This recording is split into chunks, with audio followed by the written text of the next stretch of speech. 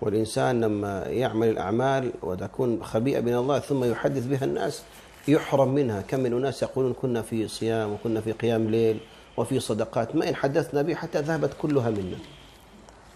وهنا كما قال ابن القيم يعني إما أنك بتحدث على باب الرياء وانظر يحيى بن معين كما في الحلي عند أبي نعيم يقول يعني صاحبنا الإمام أحمد خمسين سنة ما افتخر عليه يوما بشيء بل إن عبد الله بن مبارك انطفأ السراج يوما.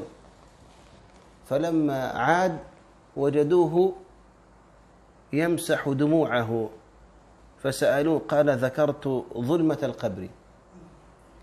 وأحدهم يوما كان يبكي في ظلمة فلما عاد السراج قال قاتل الله الزكام. كلهم يريدون أن يستخفوا بماذا؟ بهذه الأعمال يجعلونها بينه وبين ربهم تبارك وتعالى.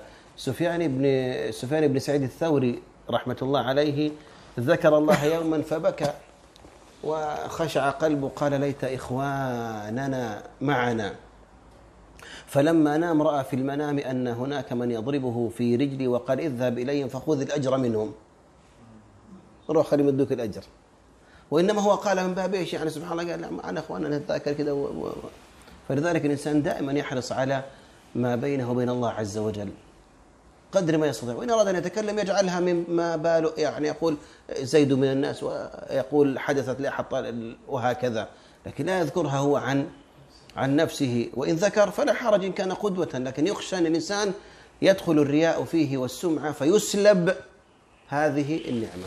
وكم من أناس كما قلت لكم كانوا في قيام وكذا فلما حدثوا ذهبت لذة هذه هذه الأمور. نعم.